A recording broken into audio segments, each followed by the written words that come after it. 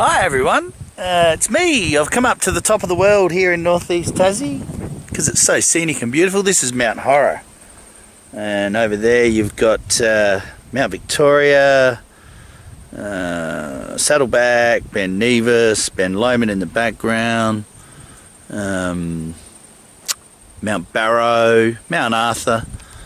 Out there you got Bass Strait, a bit hazy today. You can just see the top of Flinders Island even over there and Cape Barren Island. Absolutely stunning part of the world. Anyway, get to the point. Come up here to show you our new t-shirt design. Here it is. This is what it looks like. Ain't that cool? Dan Kell did this for us and he's done an awesome job. We got new bumper stickers. They kind of match my t-shirt. Look pretty good.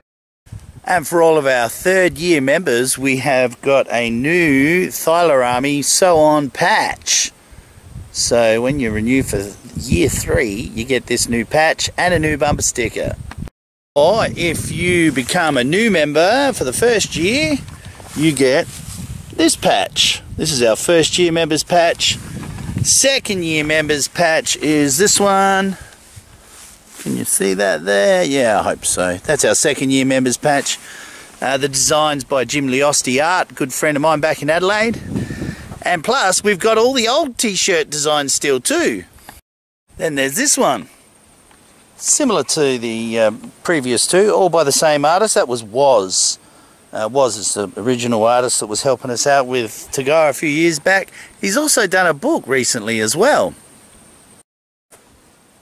and this is his book Have You Seen a Thylacine by Warren Walker an illustrated homage to the Tasmanian tiger there is some uh, beautiful artwork in there. Some of these paintings you might have seen before on our auctions. That one there is in my lounge room. But there's some beautiful artwork in here. It's all about thylacines. So yeah I won't go too much into this because of the copyright stuff. But um, yeah, you can uh, certainly contact Was. I'll put the link in the uh, in the description below, and you can buy a book and help him out if you want. So, just for the record, because the critics are going to come out and have a go at me for trying to get money from people, uh, we're totally funded by our members. We don't uh, receive any government grants. I'm not on the dole. Um, we don't get any government funding whatsoever. So, yeah, we don't have a Patreon, we don't have a GoFundMe. So, all the money we make comes from our members and supporters um, through sponsoring a camera or being a financial member of TAGOA Tas Inc. The links for all that will be in this video and uh, on the description below. So, if you want to help us out, you want to contribute, that's great. If you've got a few spare bucks, anything helps. You can just donate a few dollars if you don't want a t shirt, you don't want a sticker, or you don't want to know about all of that. You just want to support us, that's fine.